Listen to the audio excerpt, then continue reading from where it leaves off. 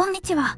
今回は、吸血鬼すぐ死ぬに、第6話に対する視聴者さんの反応を見たいと思います。チャンネル登録と高評価何卒よろしくお願いします。どうぞ。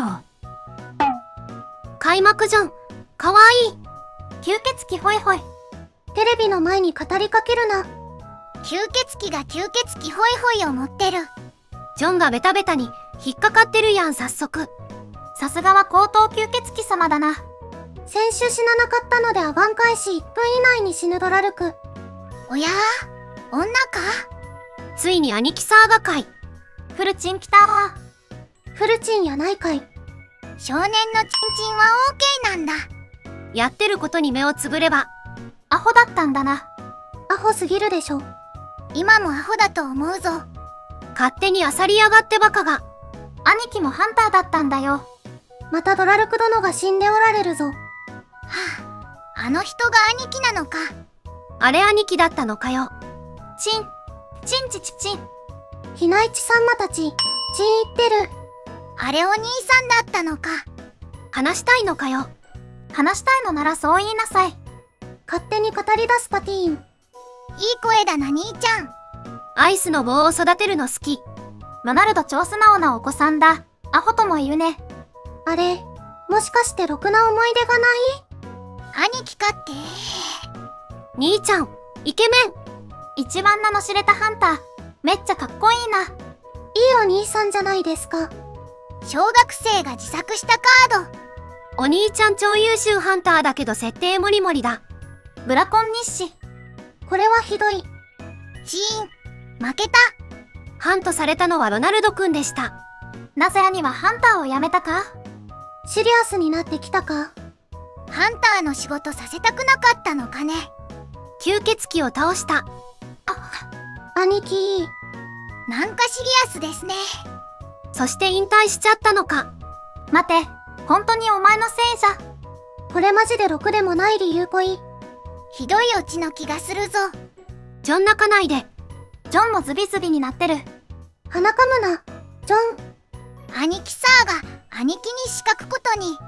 ぬーぬー泣いてるジョンかわいい。なんていいタイミングで、まさかの兄貴襲来で草。チャンネルはそのまま。ひまりちゃんかわよい。成長したひまりちゃんみたいわね。兄貴、サーガ、闇の書。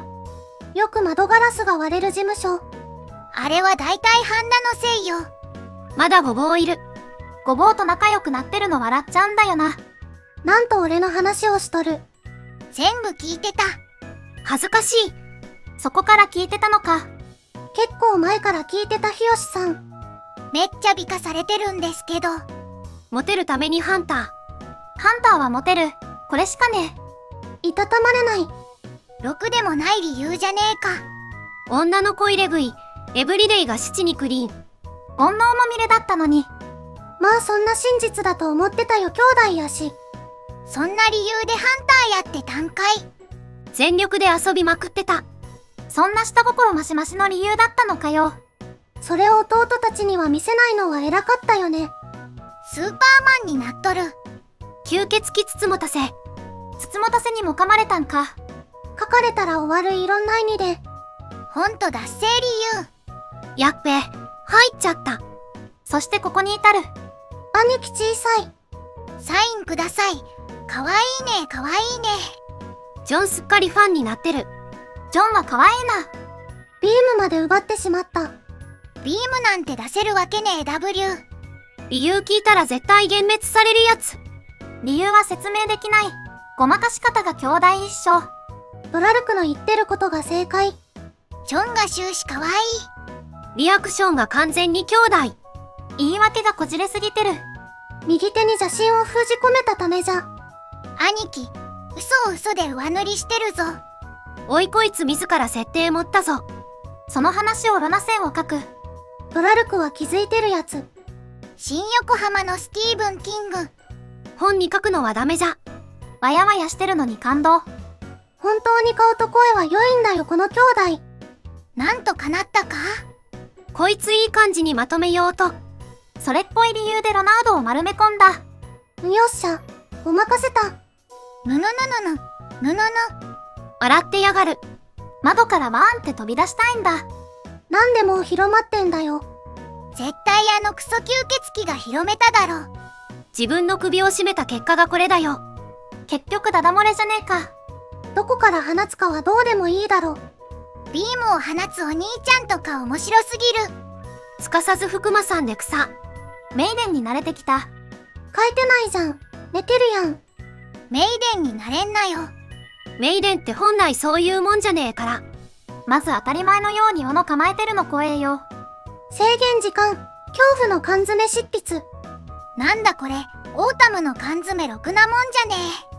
拷問じゃねえか。あっぽれ死ぬやつだ。美味しくあげられるやつだ。調理工程じゃねえか。ロナルドくんあげられる。人の不幸を見ながら食うポップコーンはうまい。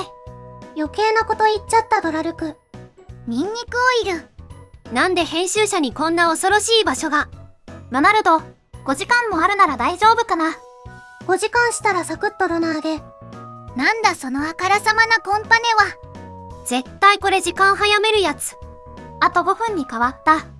残り時間を減らしてどうする加速したサンズちゃん来たサンズちゃんマジで好き。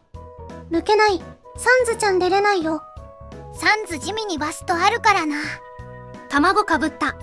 ちょっと楽しかったから、もう一回。アップ始めた。覚醒した。すごいぞロナルド。作家魂全開。オータムヒグマが助けてくれた。喋ったはあ。お前喋るんかい。あんた喋れんのかよ。オータムヒグマ、知性があるのか。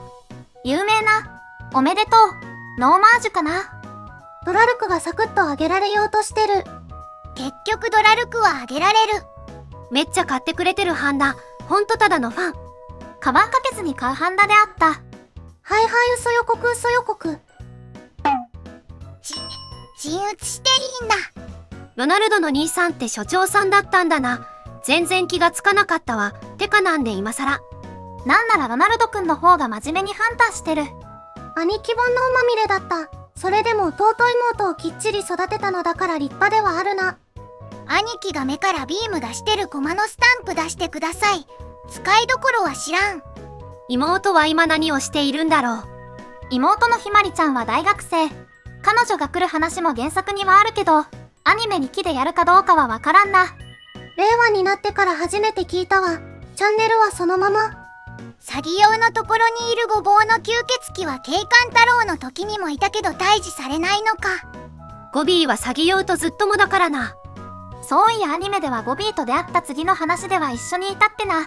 クローゼット内でもてなされていたからよほど気に入られたのか。サインくださいがちゃんとサインくださいで感動した。鉄と胸がつっかえるサンズちゃんかわいい。サンズちゃんって可愛いけどアホだね。違うよアホだけど可愛いんだよ。ハマったサンズちゃんが避内地だったらスルリと抜けれた？はんだ、読むよ、保存用、不況用とあと一冊は何用なんだ？原作だとあそこで5冊買ってるのに、アニメではなぜか1冊減ってた。ハンダのことだからお母さんのためにも1冊買ってるんだろう。ハンダってもしかしてロナルドのストーカーに半分足を踏み入れていないか？もしかしてでもないし半分でもない。完全にストーカーのそれ、冷蔵庫の中身まで把握してる男だぞ。お母さん以上のロナルドファンだよな。半田。今回は警察署長日吉さんがまさかのロナルドの兄貴だったという回。原作読んでないので全く気がつきませんでした。マーコへは似てるなぁとは思ってたけど。女にもモテたいからハンターになったってのは動機の一つとしても自然だしいいと思いますけどね。終始ぬぬぬぬ言ってるジョンがめっちゃ可愛かったな。すっかり兄貴のファンになってるし。個人的には詐欺用の肩に乗ってるゴビーがツボでした。誰も突っ込んでないし。後半はいつものロナ線話ですが、サンズちゃんがやっぱり可愛かったです。今週も勢いあって面白かったな。毎週の癒しアニメになってます。以上最後までご視聴ありがとうございました。この動画が良かったと思ったらぜひチャンネル登録お願いします。次の動画でもよろしくお願いします。